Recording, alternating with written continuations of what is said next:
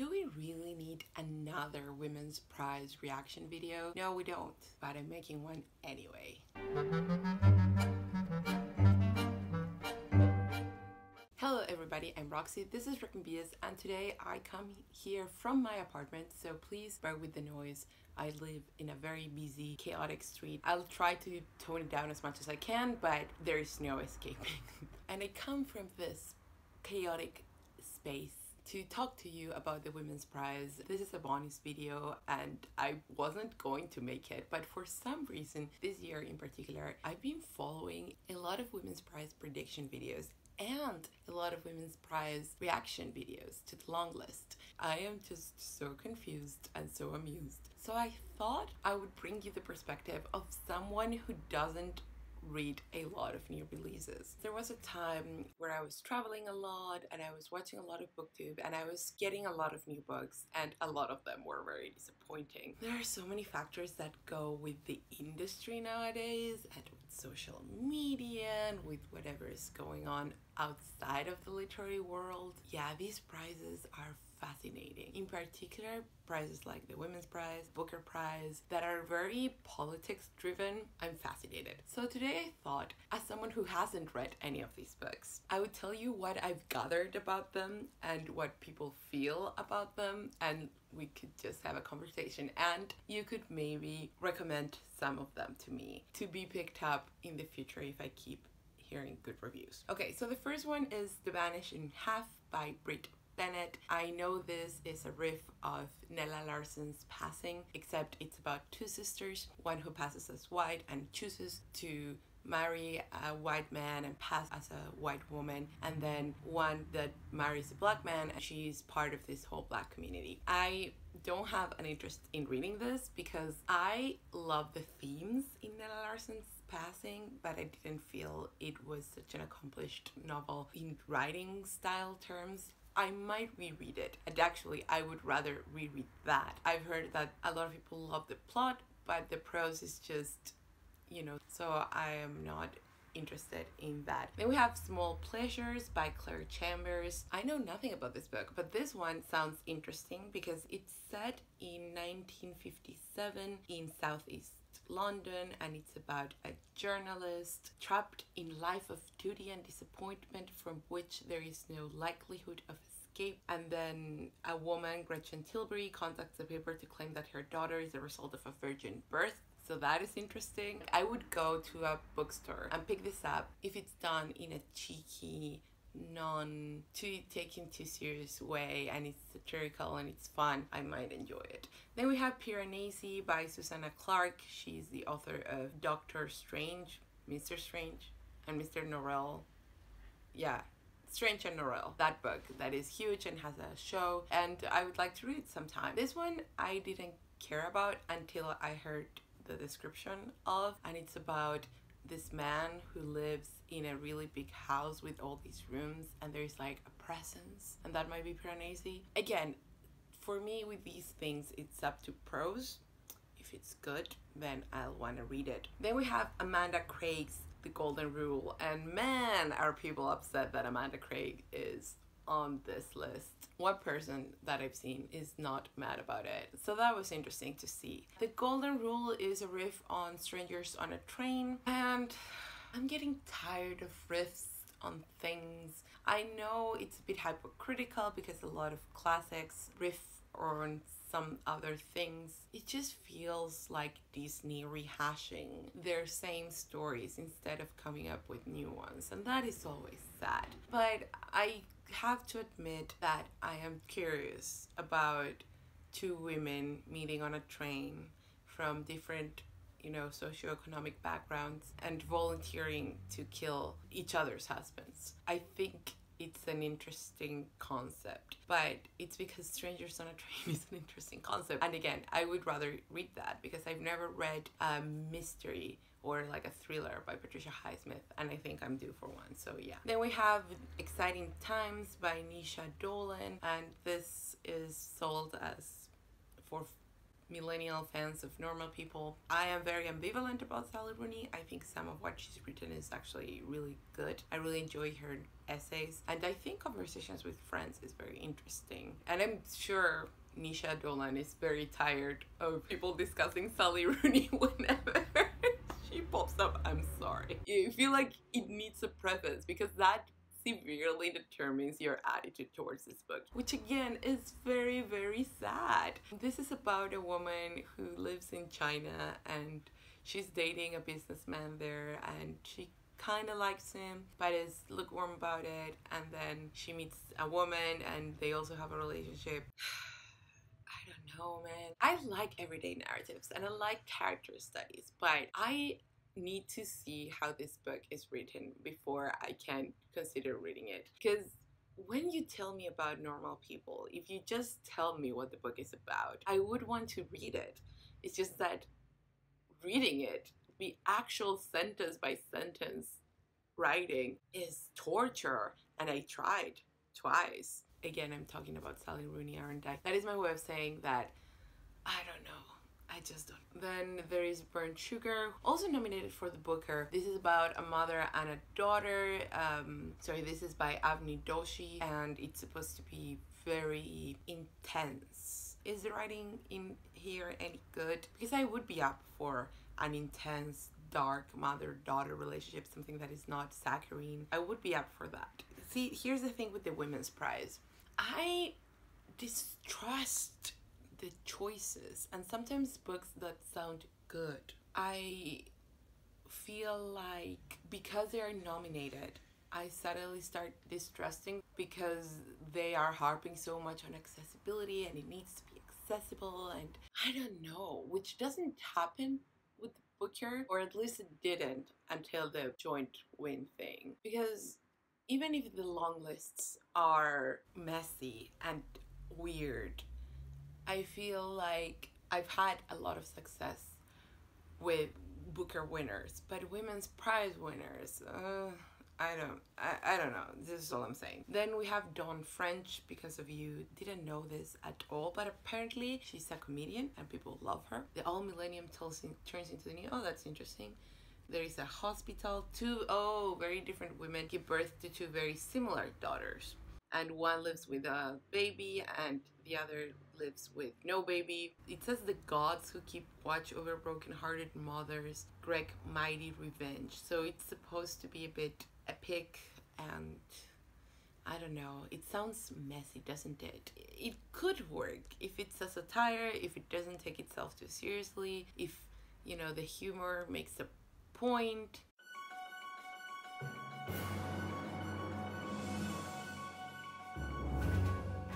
And then we have Claire Fuller's Unsettled Ground, and apparently Claire Fuller writes like a book a year, and people have vastly different reactions to her. Yeah, just the cover makes me so not interested. Then Yaa Gyasi's Transcendent Kingdom, which I was so interested in. It's about a neuroscientist and she works on lab rats and she's trying to find the reason behind depression or something like that. And it's about faith and I love all those things as someone who grew up in a religious household, as someone who loves neuroscience, I love campus novels, academic books. It sounds like everything I would want to read. But then someone in Bookstagram shared a paragraph of it, and it was just very meh. I would be open to reading this, take it out from the library at some point. How the One Armed Sister Sweeps Her Home by Cherie Jones. This is set in Barbados and it says Lala's grandmother Wilma tells the story of the one-armed sister, a cautionary tale about what happens to girls who disobey their mothers. It says it's a story of three marriages out of a beautiful island. It sounds random. I don't know. It's human drama so maybe I know it's a marketing thing and the authors don't have that much control in how their books are marketed, especially the blurb thing. But just from that blurb alone, um, no thank you. Then we have Luster by Raven Leilani. I've heard about this book so much. This is one I'm ultimately interested in checking out. Again, depending on how it's written. I love tense love triangles. I know a lot of people hate love triangles, and I understand because it comes from the YA, this taste of there's clearly one that the protagonist is going to stay with. But in reality, things get messy. Attachments that people develop are something that I'm very interested in. But it has to not be cliche, it has to not be saccharine, it has to be not overly dramatic. And I think a particularly successful version of the getting into a marriage love triangle is English Animals by Laura Kaye, I want to say. That book, although not extraordinary, is very fun to read and very engaging, and it is well written and it accomplishes the voice of someone whose English is very, very good, but slightly off because it's still a second language brilliantly. I thought that was so extraordinary how she did that. Talking about it makes me want to read it. It is a fun, devourable, compulsively readable book. And I think that was nominated for the Women's Prize, right? I waited years to read that and I have no regrets because I wasn't, you know, bamboozled. I've been bamboozled too much. That's the thing. In any case, Luster. So, yeah, this is about a young woman who gets involved with a marriage and specifically I think the husband of that marriage is white and she's black, so there's a race issue there. I don't know the race of the wife and I don't know if it matters, but yeah, it's supposed to get very tense. And I keep gesturing this side because I thought I was going to put the pictures on this side, but I think I might put them here. Then No One is Talking About This by Patricia Lockwood, which I've heard enough reviews to know that it is not good and it is interesting about an internet famous person who goes around the world to talk about internet fame. Don't get me wrong, I love that. I think we definitely need more narratives of the internet. But the problem with this book is that it's apparently written in vignette and it basically could have been a Twitter thread and it's a book because it's Patricia Lockwood. And I would read Priestdaddy and I have some of her poetry. I haven't gotten to it yet, but it's supposed to be really good. So I would read that. But clearly there's not much novelizing going on here. It feels very lazy. And maybe it's not. Maybe it's brilliant and I'm missing out. I do like things like Maggie Nelson. I mean, I read one Maggie Nelson book and I liked it. yeah, I don't know. Is this any good? I think we need a lot of fully baked internet novels because the internet is important. We should be reading and talking about it. It's just that I don't know if this is the way. And then there is Consent by Annabel Lyon, and this looks like a porn novel, a fancy porn novel. It's it's very artsy. It's about twins. One of them is focused on her studies and the other is glamorous and thrill seeking. Yeah, apparently there's a big sibling thing going this year. I don't know, I'm an only child, so people tell me, Do you want to read about siblings, especially this year, maybe after the pandemic? Here's the thing.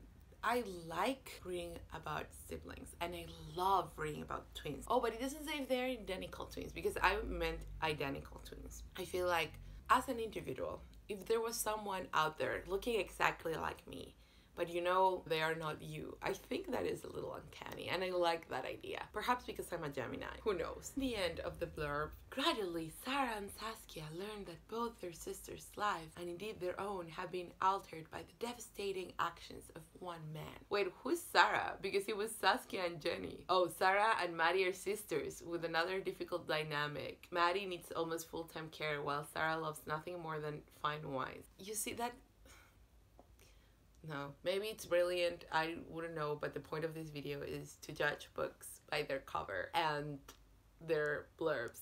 So then we have nothing but blue sky by kathleen macmahon and no idea. Oh this is the is there such a thing as a perfect marriage book? The collective reaction of people who hadn't heard of this book but then read the blurb and read that sentence is no just no. And again, I feel like that's unfair because it's not the author's fault most likely and the person who wrote that blurb should be fired but it's what we have to go by as readers So we have two more books. One is Detransition Baby by Torrey Peters. And this is about someone who decided to transition as a trans woman, but then decided to detransition and is married, I think, to a woman and decide to have a baby, but there is like a third person and it's this odd family dynamic. Honestly, I was interested in this before I read an excerpt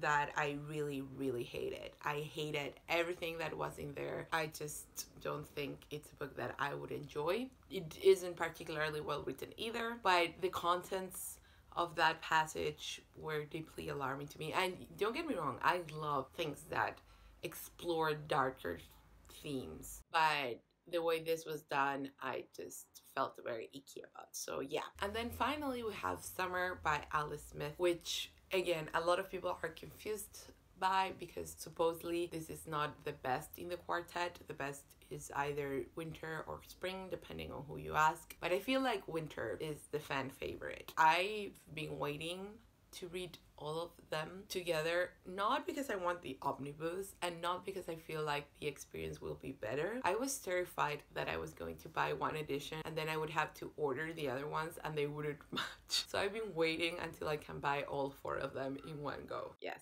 I am that stupid sometimes. I don't know what this is about, but I know it's very current and I know it was delivered almost on printing date for the manuscript. It's very immediate and it's something only Ali Smith could do. And I know also that she doesn't necessarily always submit to literary prizes. So a lot of people are wondering whether she wasn't nominated before because she didn't submit or because the judges overlooked for example winter which is supposed to be the best one and then they are giving her the summer nomination because she needs to be nominated because she's Ali Smith and because the whole quartet needs to be rewarded in a way. Again, with the politics, you see, you there is strategizing, there is concession. It's very interesting how these things go. I also hate that a lot of the times writing is not discussed. It's always about what the book is about. And are the characters like this or like that? Are the dynamics like this, like that? But books are written. That's the thing. If I want to see this dynamic play out in another medium, I can watch a film, go see a play. Well, I can't go and see the play, but you know what I mean. I can listen to a song, I can see a painting. There is something about books that is unique, and that is the writing. So, yeah, that's I find interesting that the writing itself doesn't come up in conversation as often as it should. Anyways, I hope you like this very uninformed video. That was the point. I didn't want to Google anything else about these books because I feel like the fun in it is what I received via osmosis, just being on Bookstagram and Booktube and watching all these videos and listening to all this discourse. Just wanted to make that sort of weird reaction videos. I enjoyed filming it. Let me know if I said anything completely wrong. If you've read these books, that is totally admissible. Please do let me know what you think. Or are you planning on reading any of these? Do you follow lists like this? If I did, I would follow the Booker International. That is interesting. And you know what also I like? Although they've disappointed me on many occasions, in particular with All the Light we cannot see, which I don't remember if it won the Pulitzer of the National Book Award, but the fact that this book was nominated at all for anything is mind boggling. But apart from that, I like to know what wins the Pulitzer. I'm always interested in knowing what wins the Pulitzer and the National Book Award. So I hope you enjoyed this. If you liked it, please give a thumbs up, please subscribe and comment. Again, have you read any of these books? Have I said anything completely wrong about them? If you've read them, please do let me know. Remember to follow me on Twitter and Instagram. Everything's down below and to listen to the Bibliophile Daily, which is also linked down below. It's on many platforms and it's my daily podcast of bookish and literary historical facts. So yeah, that's it. See you next time.